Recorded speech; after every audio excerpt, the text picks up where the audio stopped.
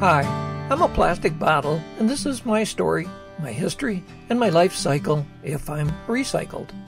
I started out deep below the Earth's surface as crude oil and natural gas. That crude oil was pumped out of the ground, transported to a processing plant or refinery, converted to ethane and propane, and then broke down to ethylene and propylene.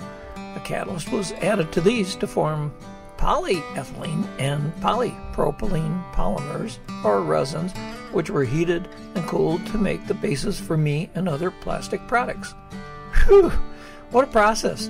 And then I was filled with a liquid sold in a store, emptied by a person, then thrown to the waste, and sometimes recycled. And now the cycle is about to return as companies like Resynergi chop us up, heat us up, and return us partway back to where we started diesel fuel, and other products. So there you are, my life cycle when recycled.